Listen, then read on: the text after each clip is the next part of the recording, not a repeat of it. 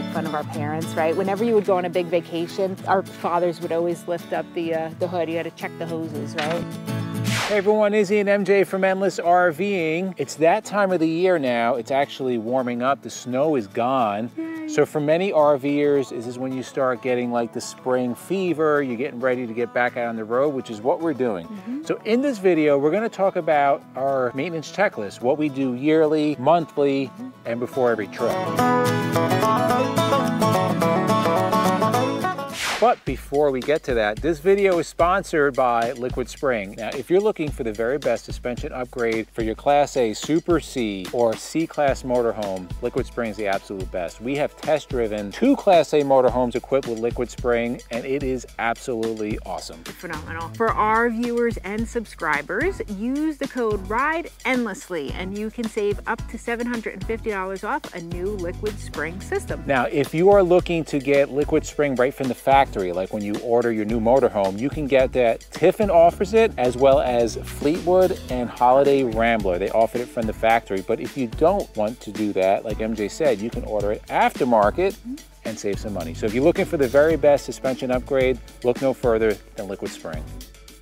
All right, so let's start with our yearly maintenance, so what, you know, recommended you should be doing yearly. So you want to check your chassis, have it checked by a mm-hmm. professional that includes brakes and your suspension and get greased, whatever we get greased. Now, we usually do this at the end of the season. We mm -hmm. get it mm-hmm. done like right before we're going to go into storage. I have it looked at and take care of whatever needs to be taken care of. The next thing you're going to look at, if you're so equipped with propane, make sure you get a propane leak check just to pressurize the system, or however they do it. Just make sure you're not leaking propane. Yeah, that's never a good thing. Next thing is you want to check your seals on the exterior and reseal if necessary. So on your roof, on the sides, everywhere there's seals, check them and fix what is necessary. And then the last thing that we do once a year is we sanitize our fresh water system. And we actually did a video on that. We're gonna link that right up above. We're actually just about to do that yes. very soon.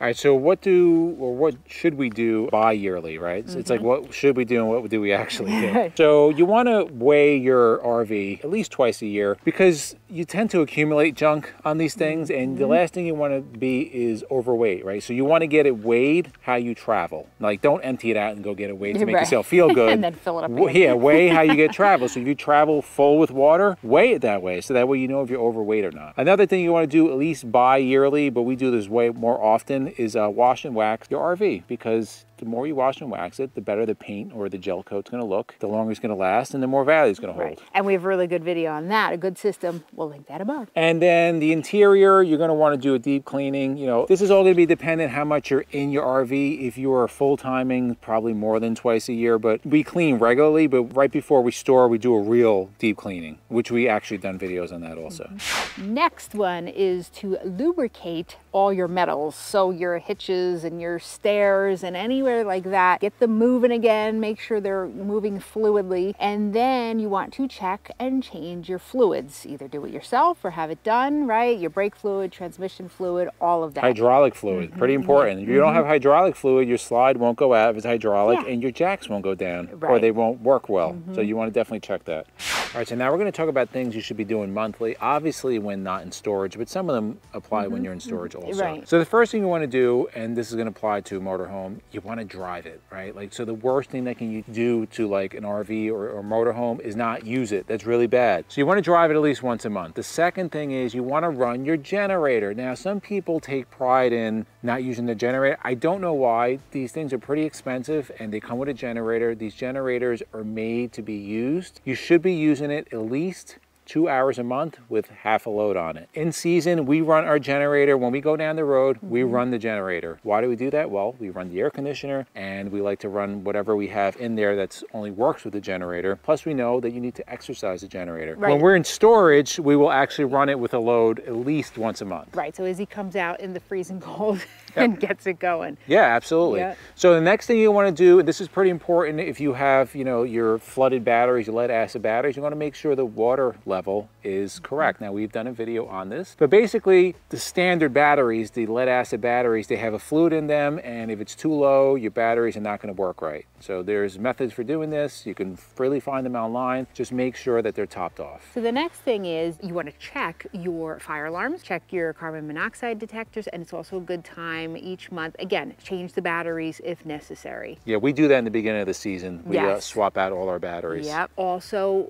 this is really important, is to make sure your fire extinguishers are working and also make sure you have enough fire extinguishers. We've discussed this before too. One fire extinguisher in an, in an RV is probably not enough. I mean, maybe if you have a tiny little teardrop, fine. But if you have a bigger RV, you're definitely gonna wanna have, how many do we have? We have five. Yeah. So you might be asking yourself, what, what do you mean check them? I don't mean, like she doesn't mean like shoot them. Like you don't wanna do that. They have a shelf life, so you wanna make sure that they're within their shelf life. You also kinda wanna take them and shake them up a bit. Just make sure the pressure is full, that they're functional, that you're able yep. to get to them, that you can get them out of the holder. Right stuff like that. You want to also check under your hood, all right? Make sure that every hose is attached correctly, nothing is leaking. All that's really important. We always make fun of our parents, right? Whenever you would go on a big vacation, our fathers would always lift up the uh, the hood. You had to check the hoses, right? Yeah, you're looking but for true. You're looking for cracks. You're mm -hmm. looking for signs of rodents because they like to eat those things. Right. You're looking if you see any liquid coming out. These are all things you want to get taken care of before you get like stranded on the side of the road. Right. Now the next one is uh, kind of important. So one, at least once a year, we actually, well, I'll take the covers off the AC units on the roof and I clean them. I clean all the, the condenser and the fins in there, get any crap out of there. But what you, we do monthly is there's filters inside and that's very important for the health of your AC. You want to clean those filters out. Right. You want to check for cracks anywhere or any type of openings that little rodents can get in and fix those because the last thing you want is rodents in your RV chewing your wires and destroying your whole rig. Actually, the best way to do that is turn on all the lights inside your RV mm -hmm. at night, and then if you can see light, light coming, then no right. good. You want to fill yep. that gap. Absolutely. And we did a video on mice and how to keep them off. This is definitely number one to do that. And then another thing you want to do monthly is you want to, if you have slides, you want to check the rubber seals around your slides. Just make sure that they're like not broken. Mm -hmm. And also you want to kind of uh, condition them a couple times a year. You know, they, mm -hmm. they sell like the slide seal conditioner. It's just because the UV rays kind of eat up at that and that's what's keeping the water outside from going inside your RV. So pretty important if you have slides. And we did a video talking about slides versus no slides. We will link that one above also.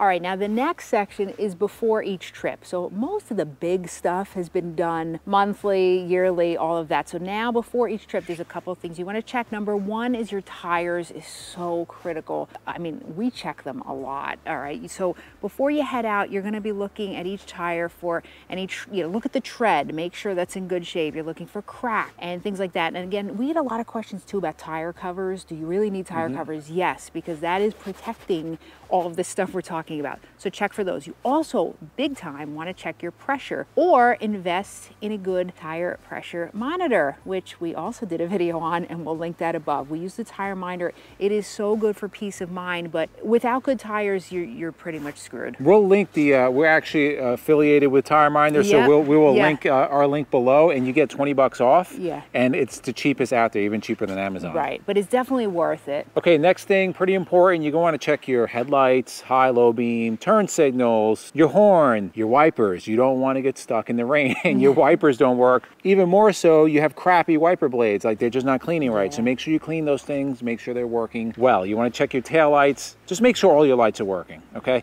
There's a lot of lights on a motorhome. Also, you want to check the roof for debris. Now, this is pretty relevant if you're staying at, for an extended stay somewhere. Things fall on your roof. You, you don't want that stuff rolling around, tearing something. Just go up there, we actually, before we leave a campground, I just go up there, quickly sweep everything. It takes five minutes. And you blow it too. Use a yeah. leaf blower a lot. Just, or a leaf blower. They have yeah. those, you know, battery operated right. leaf blowers. It, it, literally takes five minutes, mm -hmm. and that way you don't have crap, you know, flying people behind you. Right.